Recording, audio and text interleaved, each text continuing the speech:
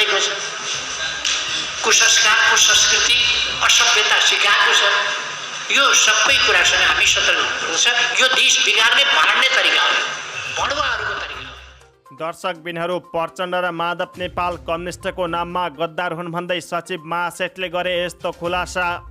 जनता पार्टीको सेवक होइन देशको मालिक बन्नुपर्छ भन्दै कमल थापाले दिए यी शीर्ष नेताहरूलाई कडा रूपमा चेतावनी।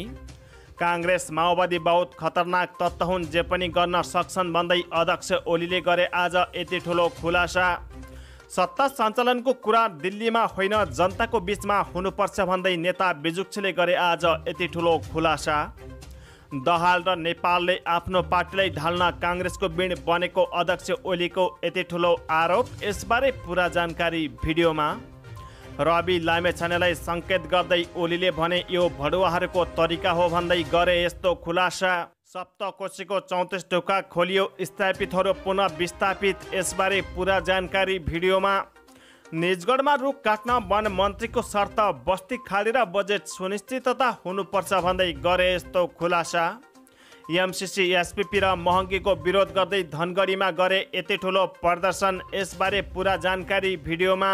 रापरपा नेपालको गतिलाई रोक्न खोज्ने देशी विदेशी शक्ति परास्त हुन्छन् भन्दै महामन्त्री बर्तौलाले गरे आज यति ठुलो खुलासा।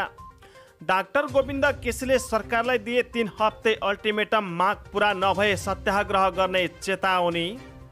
र गठबन्धनले अमेरिका र चिनको लडाइँमा नेपाल मैदान बनाउँदैछ भन्दै योगेश भट्टराईले गरे आज यति ठुलो खुलासा। दर्शकबिन अब हेर्नुहोस् पुरा समाचार।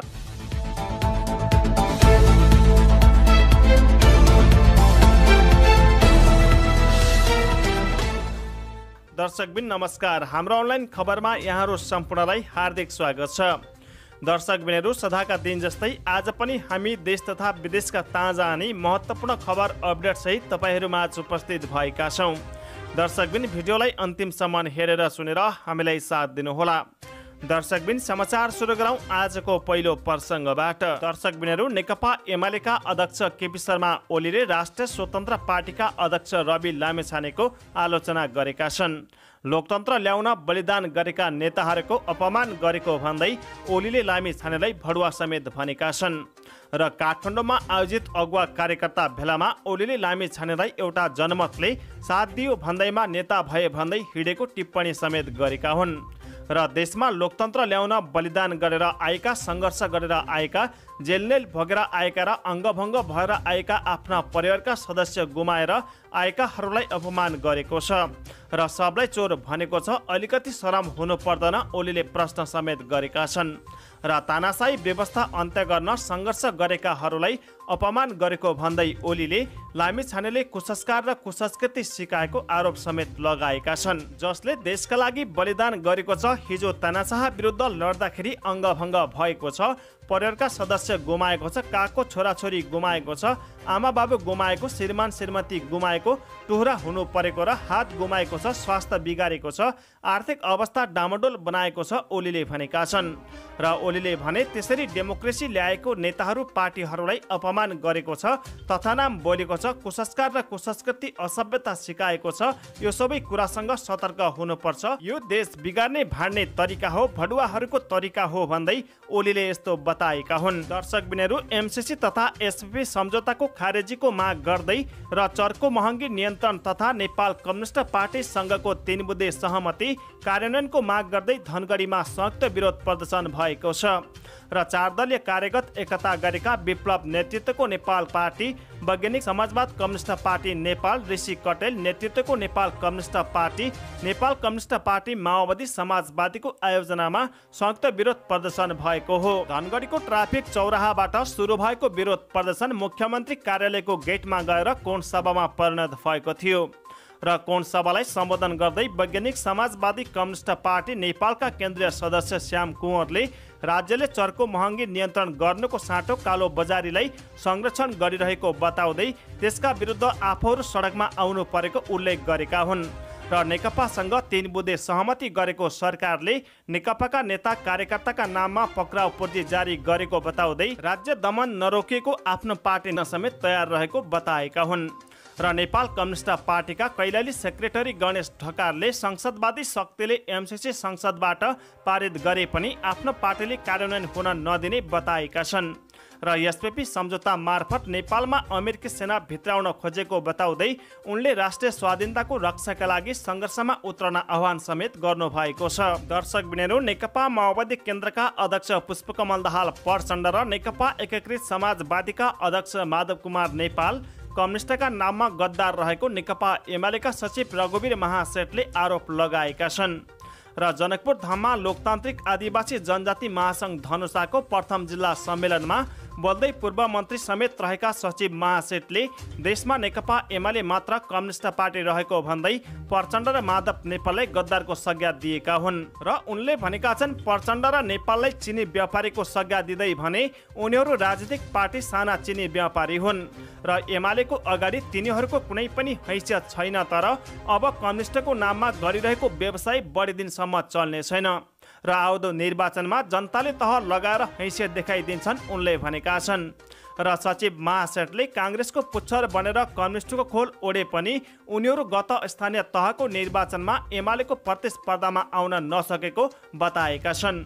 र उनले दावी गर्दै भनेका छन् अब आउँदो मङ्सिर चार गते हुन लागेको प्रतिनिधि तथा प्रदेशसभा सदस्यको निर्वाचनमा पनि प्रचण्ड र नेपाल त केही पुरै गठबन्धनलाई एमाले मात दिएर एमाले एक नम्बरको पार्टी बन्छ। र उनले नेपालमा मात्रै चुनावको माध्यमले कम्युनिस्टले दुई तिहाईको सिट जितेर मुलुकमा सरकार बनाउन सफल हुने एमाले पार्टी मात्र रहेको दावी गर्दै भनेका छन्। आउँदो चुनावमा पनि एमाले दुई तिहाईले सङ्घ मात्र होइन प्रदेशमा पनि सरकार बनाउँछ। दर्शक बेनेरू राष्ट्रिय प्रजातन्त्र पार्टी राप्रपा नेपालका अध्यक्ष कमल थापाले जनता पार्टीको सेवक नभई देशको मालिक हुनुपर्ने बताएका छन् र आगामी चार मङ्सिरमा हुने प्रतिनिधि र प्रदेश सभा निर्वाचनबारे टिप्पणी गर्दै अध्यक्ष थापाले सत्तामा पुग्न विदेशी शक्ति गुहार्ने प्रवृत्तिको अन्त्य हुनुपर्ने बताएका छन्। र यो सबैको अन्त्यको लागि जनता पार्टीको सेवक होइन सबैमानि स्वतन्त्र नागरिक र देशको मालिक बन्नुपर्छ उनले फेसबुकमा लेखेका छन्। उनले चार मङ्सिरमा हुने निर्वाचनले सर्वसत्तावाद भ्रष्टाचार बेरोजगारी धर्म परिवर्तनको समेतको अन्त्य गर्नुपर्ने बताएका छन्। र त्यसका लागि नागरिक स्वाभिमानी हुनुपर्ने उनको भनाइरहेको छ। दर्शक बिनेरू नेकपा एमालेका अध्यक्ष केपी शर्मा ओलीले नेपाली काङ्ग्रेस र नेकपा माओवादी केन्द्र बहुत खतरनाक तत्त्व भएको आरोप समेत लगाएका छन्।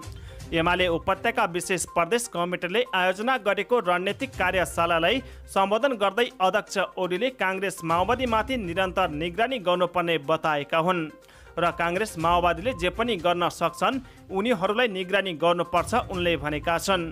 अध्यक्ष ओलीले अहिलेको गठबन्धनलाई लाज शरम पचेको हुन्डारको संज्ञा समेत दिएका छन् भने उनले भनेका छन् यिनीहरूको निगरानी गर्नुपर्छ र उनीहरूले जे पनि गर्न सक्छन्। दर्शक बिनाहरू सप्तकोशी नदीमा पानीको बहाव बढेसँगै कोशी ब्यारेजका चौतिसवटा ढोका खोलिएको छ र ब्यारेजमा छप्पन्नवटा ढोका रहेका छन् भने साँझ आठ बजेको मापन अनुसार सप्तकोशीमा पानीको बहाव दुई लाख एकतिस हजार तिन सय क्युसेक प्रति सेकेन्ड मापन गरिएको छ। र पानीको बहाव बढेसँगै सप्तकोशी नदी आसपासका क्षेत्रमा स्थानीय प्रशासनले उच्च सतर्कता अप्नाउन सूचना जारी गरेको छ।